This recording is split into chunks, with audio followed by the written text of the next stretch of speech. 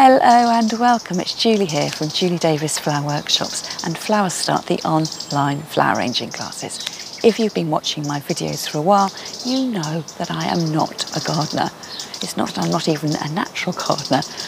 I do not enjoy gardening and part of that reason may well be because my husband is the expert gardener in our household as you can see behind me, we've had some of our garden cleared.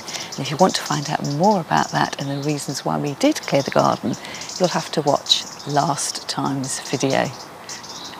We're having a bit of a debate in the house whether we just lay this bare area to lawn or whether I try and fulfill my dream of having a garden full of abundance so that I can enjoy cutting my own flowers and then arranging them last time we met, I was asking for your suggestions about what you thought I ought to plant in my garden.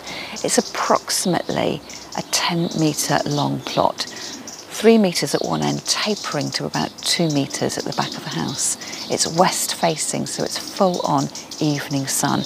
And although our garden is south facing, it is actually quite shaded because of the trees we've got growing at the bottom of the garden. Now, because I'm a bit more turned on about thinking what flowers I would like to grow, I've been taking special note of everything I see on YouTube, Instagram, Facebook, and making a little note of what I can see that people have been growing in their own gardens. And lo and behold, on my own bookshelf, I found a copy of this book, The Flower Arranger's Garden, month by month, by Layla Aitken. This book is divided up into months, and as I'm filming, it's still June, so I thought I would have a look and see what June has to offer, and then flick through to July and see whether it'll give me a few ideas on how I start gardening from scratch. I've probably had this book about 20 years and I've never really looked at it. But here I'm looking through the um, introduction Every keen gardener become, become a proficient flower arranger. Flower arrangement is a natural follow-on to growing your own plants. Now I'm slightly concerned at this stage because I'm not a gardener looking to become a flower arranger. I'm a flower arranger looking to become a garden. So wish me luck. So I'm flicking through to the pages in June and of course June is the month of roses so I'm not going to be able to get things to grow miraculously in my garden so I can enjoy them and cut them. Quite clearly, this is going to be a long, rolled out process. Now, the one thing I would say about this book, I feel it's been written the wrong way round for me. It's as if the author has got an already well-stocked garden, so she makes a few flower arranging projects and then sort of backtracks about what she needs to do. It doesn't really help you if you're not a gardener, but it does give you lots of advice. But from my point of view, of being a gardener that has absolutely no gardening knowledge, absolutely gardening from scratch, it's I think it's too high level for me. It's sort of starting the wrong way round. But interesting enough, I can see what the author has growing in her garden in June time and then I will just need to backtrack that. And she does give advice about when to plant them. So it's sort of starting from the end point and working backwards. But a few little things I have noticed is about plants to deadhead. So this time of the year you should be deadheading your camellias, delphiniums, lilacs, rhododendrons, roses and sweet peas. And then rather amusingly, plants not to deadhead, alliums, Chinese lanterns, clematis, giant cornflower, honesty, love in the mist, pampas grass, poppy and teasel. And why do I find that amusing? Well, of course, as flower arrangers, we want to use all these seed heads in our flower arrangements in the autumn and winter time when cut, fresh cut flowers aren't so plentiful in the garden.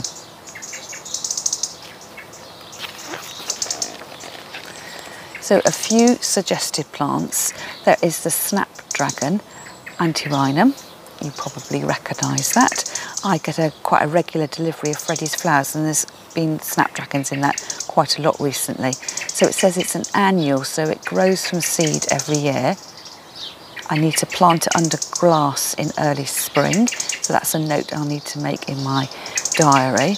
And it likes full sun to light shade. Well, that seems to tick the boxes in terms of my strong evening sunlight and a well-drained fertile soil. I think I've got that as well, and propagation is from seed. Now the next plant, well let's go on to this one, golden privet. So we do already have privet in our garden. In actual fact, when I look round, I can see it is a golden privet, and you quite commonly get the dark privet. And it does say here, it's often neglected and covered in city grime, and that can prejudice us to the real beauty of this plant. If it is well grown, however, it is spectacular. The new growth is limey green, edged with pale yellow and invaluable pale yellow and invaluable for flower rangers. It can easily be grown in a tub on the patio and what I particularly love about the privets, we're so used to seeing them as clipped hedges traditionally on the front of our houses, but actually have these beautiful sort of cone-shaped or mounds of cone-shaped flowers like a miniature pointed hydrangea and they're highly scented, absolutely gorgeous. So this tells me it's a hardy evergreen, which is good news. It's going to grow to about four metres high. I need to plant it mid-autumn to mid-spring, which is the traditional planting season, November to March. It likes sun or shade, so I can tick that box too. And I can take it by cuttings. I can't imagine. I'm going to do cuttings, I think because I am brand new to gardening, I'm going to be buying things in pots where someone else has done the hard work. And perhaps if I do take to gardening, I can then enjoy trying to grow my own and then something I wasn't familiar with. And I wonder whether this is because of the date of the book. I must have had this book for 20 plus years, but it talks about a meadow rue. And it says this golden meadow rue is useful is useful to the flower ranger, is as useful to the flower ranger as Alchemilla mollis for both its foliage and flowers. So I have looked this up online. It's almost got the look to it of the Japanese anemone, lots of quite large leaves and then tall spikes and fluffy flower heads at the top. Of course, the Japanese anemone doesn't have fluffy flower heads, but it's got the same sort of growing habit. So interesting me here because over the years I have occasionally bought plants of Alchemilla you know, at church fairs and, and open gardens and things like that. It's supposed to be really prolific in the garden, but we have found it never grows in our garden. It does its tiny little bit and then doesn't come back. So I would quite like something that really took hold and if it's as useful as Alchemilla it'll be really useful to grow for me. It's sort of one of those flowers that's part foliage, part flower. And then flowers that I have never heard of before. We've got the Jamaican, Jamaica primrose. Arg, now here's the Latin name. Argyranthemum. Argyranthemum frut frutescens, frutescens, frutescens. I don't know how I say that, but it says it's often known as chrysanthemum frutescens. So it looks like a very sort of traditional daisy-like flower. So again, I don't know whether this is a little bit out of fashion. I've never heard of it before, but it says here, um, it likes full sun, so that's a good tick here. And you can grow it from semi-ripe cuttings in midsummer, overwintering it in glass. Now another um, flower that looks interesting is Stefan, Andra. Stephanandra. So again, it's quite an interesting leaf shape and these sort of small little white flowers. So it describes it as being tiny star-shaped greenish white flowers in early summer. Grows to about 1.5 metres. Again, planting mid-autumn to early spring, which is the planting season, November to March. And again, like sun or part shade, ordinary, well-drained soil. So it looks like a good all-rounder to me. What do you reckon? I'm just slightly concerned that the book is so old that um, you know, these varieties aren't readily available.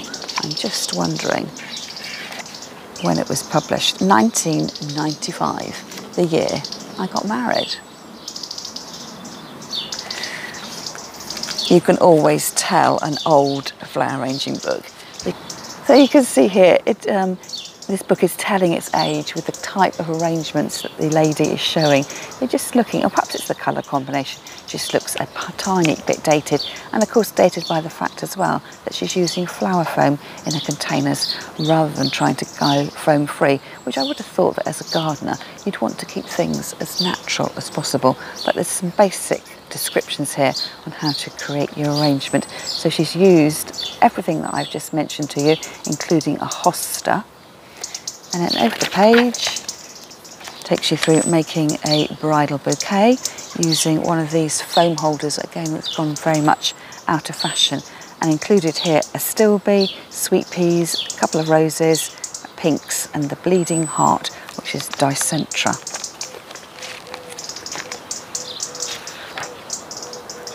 And then the next project's making a buttonhole, obviously June being the wedding season, gives a little bit of advice on roses. The, the language of roses is a total mystery to me. Shrub roses, species roses, hybrid roses, floribunda roses, ground cover roses, climbers and ramblers. I think we've got climbers and ramblers in our garden because they are climbing all over our fences and these are the ones with the really lethal spikes. Of course, they have to be able to hold on so they're not um, not they look lovely in flower arrangements but they are really quite difficult to work with and then July we're moving into July. So it's midsummer the month for sweet peas pinks and roses. A wealth of annual flowers and foliage plants to choose from. So here talking about harvesting flowers at this time of year. So you always want to harvest your flowers peak season is the time of abundance and where you make my pick um, your fruit and vegetables from the garden and preserve them for the winter months. You do exactly the same thing with your flowers. If you're drying flowers it's not the dead flowers that you're preserving it's the fresh flowers that you're preserving. And if you want to watch more videos on dried flowers I will try and remember to link some in the description underneath this video. But there are some suggestions here. So if I wanted to have double duty with my flowers and have some fresh and some dried it's saying to grow Ammobium alatum, I don't know what that is, Celosia, Craspedia, those are the little balls on, well, it says here yellow drumsticks, exactly what they look like. Gomphrena globa, I don't know what that is, Helichrysum, that's the straw flower, very well known for using as a dry flower. I'm no good at Latin. Heli, Helipterum, I think I'm going to give up there. Limonium, pink pocus, a pink flowering spike. I don't know what she means by that. Moluccella. This is quite a sort of lush greenery, a spike with little papery florets running up the side with a few thorns as well. And a xeranthemum, a wiry stem, double-crested flower heads in rose, purple, white and lilac. It does amuse me, these old-fashioned books. Never shows you, well, rarely shows you any pictures of what they're talking about. And other flowers for drying, Achillea, Amaranthus, I don't know how to say that one, golden knapweed, delphiniums and larkspur, gypsophila, lavender, solidago and zinnias. I didn't know you could dry zinnias. Now I do think my husband's growing some zinnias. He's got them in some um, planters at the moment, so hopefully perhaps I'll be able to pinch a few of those and put them in my flower bed. Look at all that colour there. So sweet peas, New Zealand flax, so Phormium tenax, a flower ranger's favourite because you can do weaving with it. It, it. They get quite large and brutish. I'm not quite sure I want that in my garden. I want it to look, you know, as if it's an English country garden, not necessarily over the top cottagey. Honeysuckle, we do have a yellow variety of honeysuckle growing up our pergola. And the projects here for July that are recommended a basket of flowers. Look at that, the old-fashioned flower foam. Oh, we have got, oh, chicken wire. The chicken wire here is being featured because it's holding, it's giving extra security to the double mounted flower foam there. So an arrangement of um, lilies, lilies and roses, ferns and geraniums. I have heard actually that geranium makes quite a good foliage. Perhaps that's something I'll have to look at. I think um, Sarah Raven uses a scented geranium, a, a pelargonium. I'll have to, perhaps I need to get her book and have a look. So there's advice here on growing um, lilies, nastilbes, labies and antor, pinks, which are dianthus, which we commonly call a spray carnation. So there's plenty to look at. So I'm not quite sure whether this flicking through this book is helping me or not. I will say that as a gardener who knows nothing, as somebody who's never really gardened before, I had a patch when I was a child and I do, you know, help my husband in the garden, but I don't think you can have two experts in one house and gardening has always been my husband's passion. But I'm hoping now that I'm going to be able to dabble my toes into the world of gardening. So do let me know in the comments whether you've got any recommended reading sources or favourite YouTubers that you like watching. I'm all about, I think, the instant garden in a way. I realise things have to grow, but I'm not particularly interested at this stage on taking cuttings, sowing my own seeds.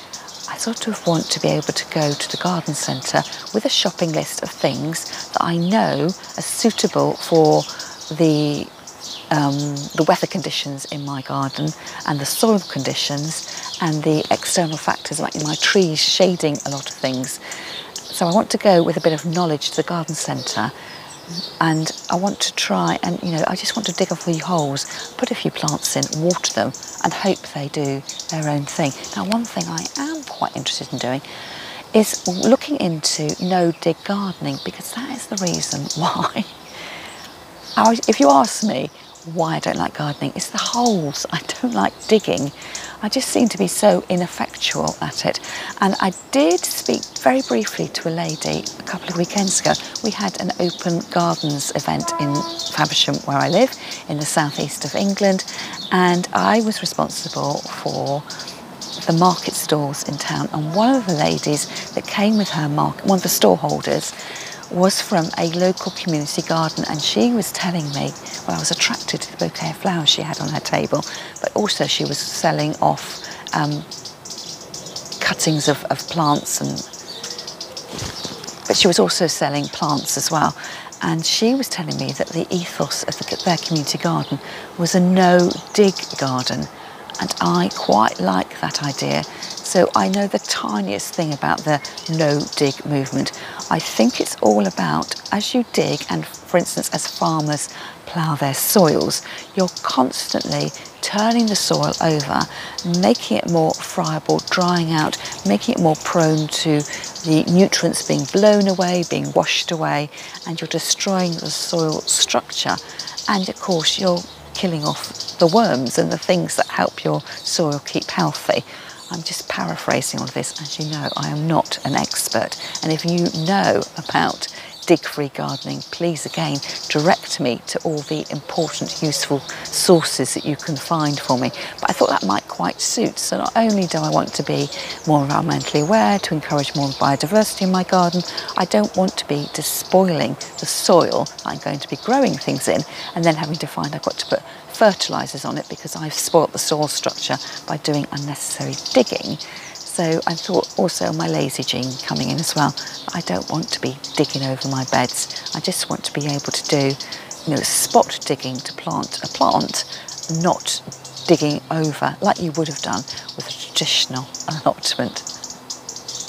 Well, thank you so much for joining me today, and I do look forward to hearing all your comments and suggestions about what I should be going, growing and where I should be going for some sort of up-to-date modern advice and if you've got suggestions of what I should be growing for my cut flowers with my watchwords my keywords are stately home herbaceous border and I want abundance. I want to be able to go out into my garden in the height of summer and cut armfuls of flowers just for me to enjoy indoors and perhaps take along to my flower arranging classes.